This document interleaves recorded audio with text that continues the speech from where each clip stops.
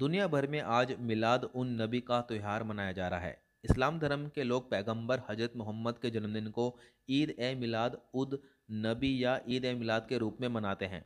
इस्लामी calendar के मुताबिक यह त्यौहार तीसरे महीने रबी उल अव्वल के बारहवें महीने के दिन मनाया जाता है। मोहम्मद साहब के जन्मदिन पर लोग उनकी याद में जुलूस निकालते हैं। इस दिन जगह पर बड़े बड़े आयोजन भी किए जाते हैं। पैगंबर मोहम्मद साहब का जन्म, पैगंबर मोहम्मद का जन्म अरब के रेगिस्तान के शहर मक्का में 571 ईस्वी में 12 तारीख को हुआ था।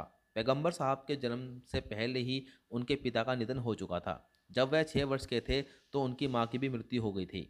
माँ के निधन के बाद पैगंबर मोहम्मद अपने चाचा अबू तालिब और दादा अबू मुतालिब के साथ रहने लगे। इनके पिता का नाम अब्दुल्ला और माता का नाम बीबी आमीना था।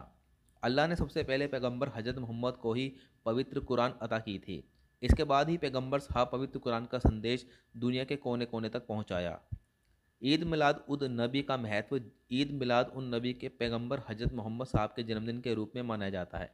इस दिन रात भर प्रार्थनाएँ होती हैं और जगह जगह जुलूस भी निकाले जाते हैं। घरों और मस्जिदों में आज कुरान पढ़ी जाती है। ईद मिलाद उन नबी के मौके पर घर और मस्जिद को सजाया जाता है।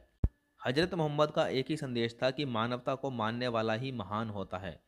आज के दिन लोग गरीबों में दान भी करते हैं। ऐसी मान्यता है कि ईद मिलाद उन नबी के दिन दान और जक़ात करने से अल्लाह बहुत खुश होते हैं। ऐसे और वीडियोज़ के लिए वीडियो को लाइक, शेयर, चैनल को सब्सक्राइब ज़रूर करें। धन्यवाद।